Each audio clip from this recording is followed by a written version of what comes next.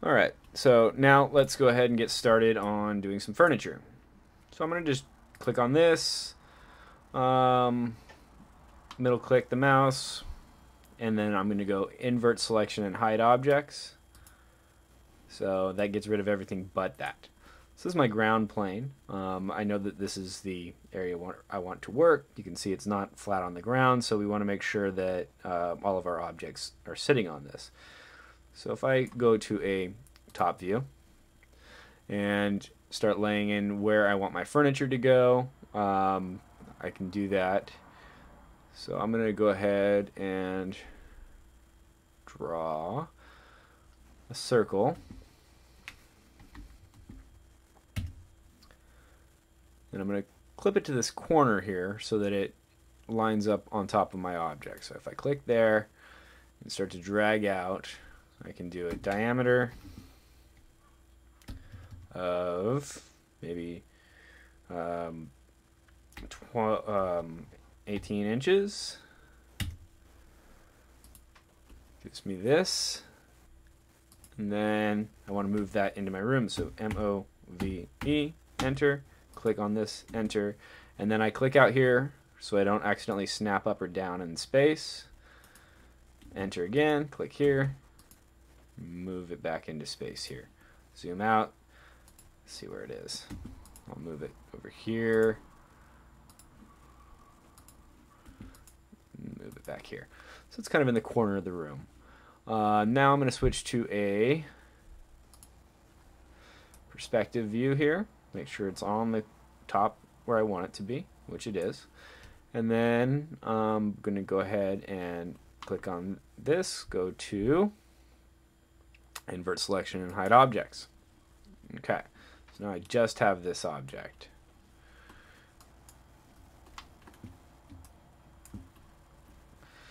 So let's draw a circle again.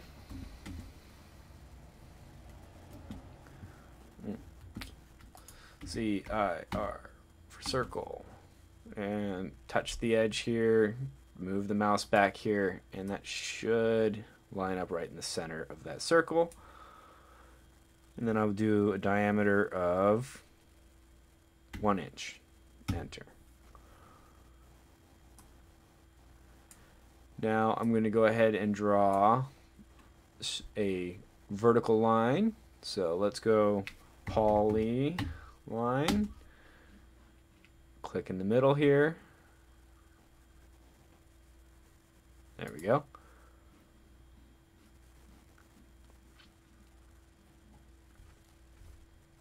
Well, let's go to a front view, sorry. Front view. Poly. Start going out of the center there. I'm going to go five foot four inches high. Click, move out this way, maybe 18 inches. Click. Then I'm going to go down about six. Enter. Whoops. Six. Enter. Click. Hmm, messed up. Just do a line here. L-I-N-E, click, 6, enter. Okay. So now I want to round these corners, so I'm going to fillet the radius of 6.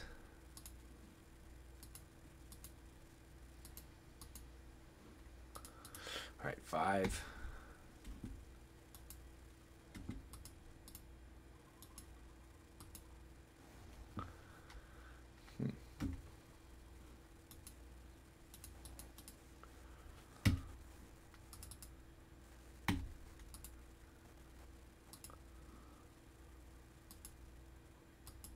There we go.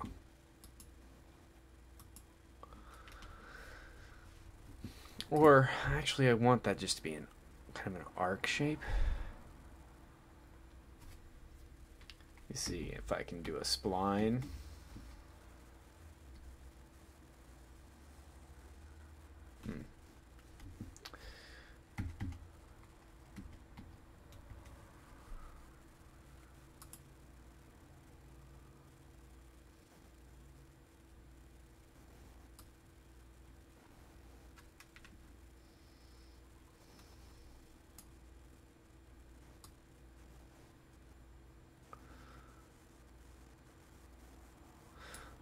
Just try one of these.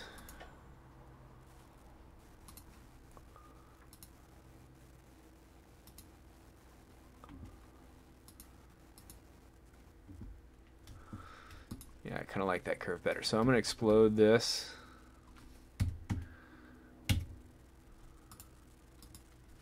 And then I did snap that line to that point, so it should line up. Click on this, delete. Click on that, delete. And then I'm going to join this whole thing together. J-O-I-N, enter. All one piece, beautiful. Go back to perspective. Move this from this point to my midpoint inside of here. Click there.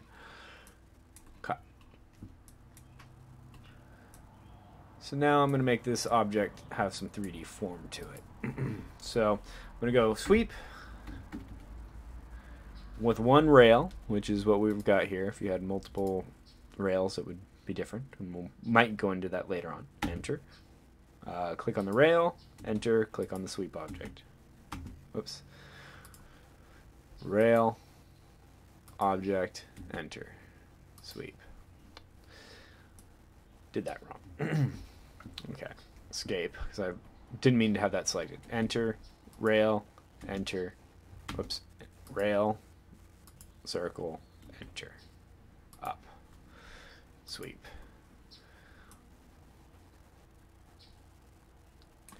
And then we want to close this form because this form has an open end on it. Open ended basically means it's going to be a surface.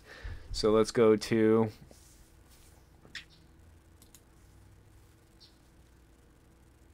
solid and we'll do cap planar holes. Click on that, enter and that caps it all off. So now our object is all one piece. Delete this, and then I'm going to extrude this up one inch, fillet, edge, make it rounded with a one inch radius. Oops.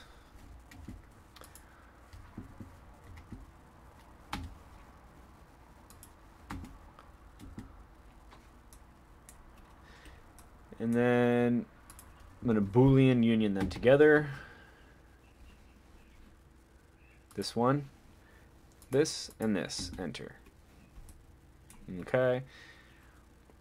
And I actually want this facing the other way, so I'm going to rotate it around. So R-O-T-A for rotate. Click on this, enter. Click that midpoint there.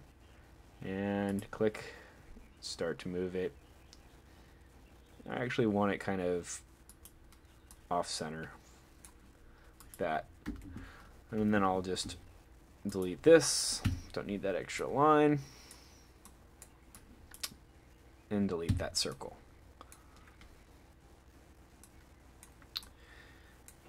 now I'm going to draw a sphere S-P-H-E-R-E -E, enter and click on that spot right there just so that it's lined up to the center and I'll do a radius of 6. If you look up to the left, that's what's set. Should be fine.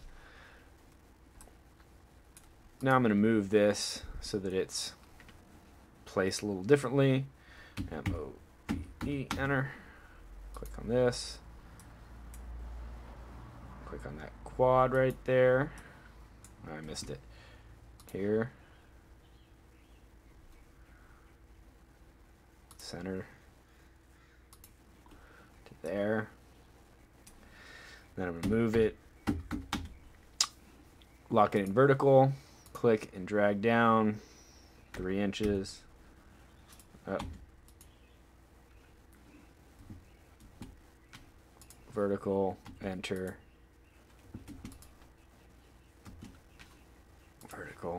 click, drag down, negative.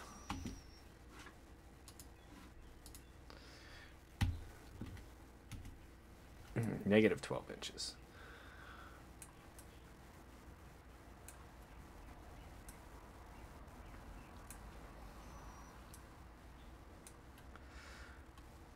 And then let me see, I'll draw a circle right in the midpoint of this.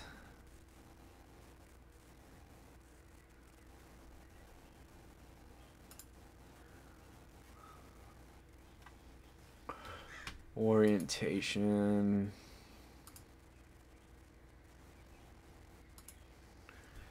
Hmm. Yeah, I'll just draw a line.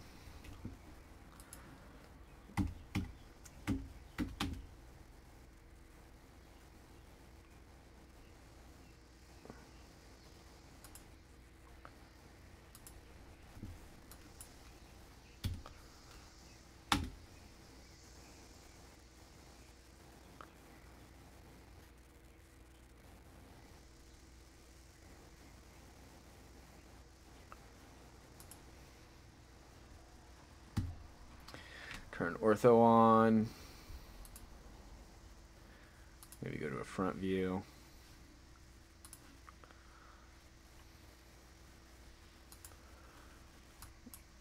And then let's see if I can't move this.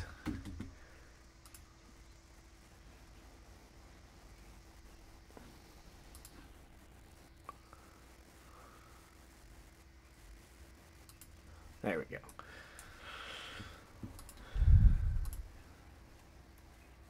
And I'm going to move this ortho on. So it's up overlapping into it a little bit.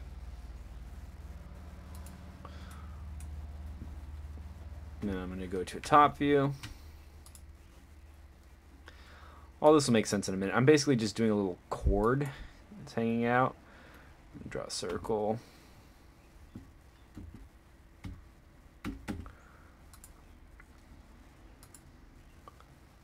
Then go back to a perspective view. And then sweep.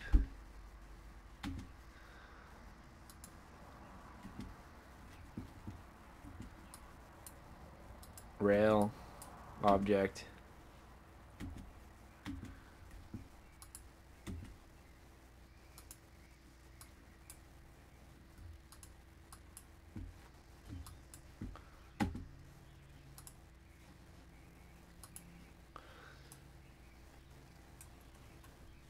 Yeah, so I have a lamp kind of like this, and it hangs from that cord. So I wanted to do that. Okay, so now I want to cut that off so that it's no longer overlapping. Let me switch into X-ray. You can see I've got overlap and I've got overlap. I don't want any overlap on any of these. So uh, what I'm going to do is I'm going to uh, copy this sur surface, copy, enter, from where it is to where it is. So now I've got two of them. And then what I'm going to do is Boolean difference. And I'm going to keep this and keep that. And then hit enter. And then I want to get rid of this. Enter.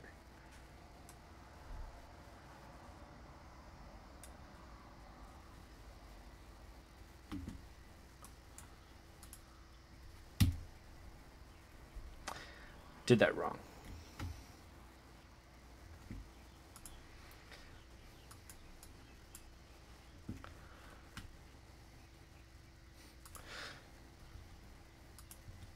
So I want to copy both of these back into the, where they are. So copy,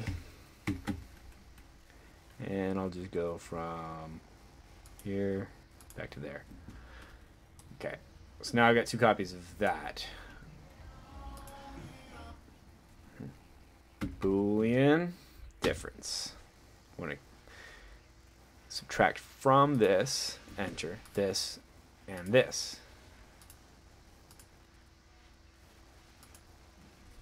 Enter. Now you can see in X-ray view that we've got three objects perfectly designed to fit each other.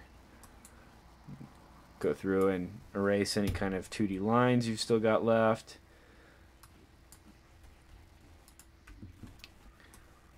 Alright, so now that's my lamp.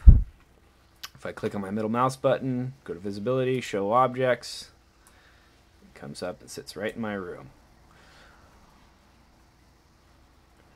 And some of you might make your rooms too big or too small. If you want to change the size of your room, you can do that as well uh, by doing scale.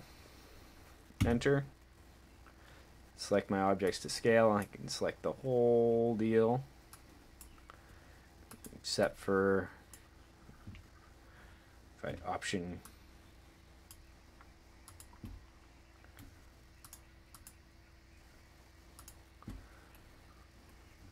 yeah and hit enter and I'm going to do it from the top of this floor here so that way nothing changes.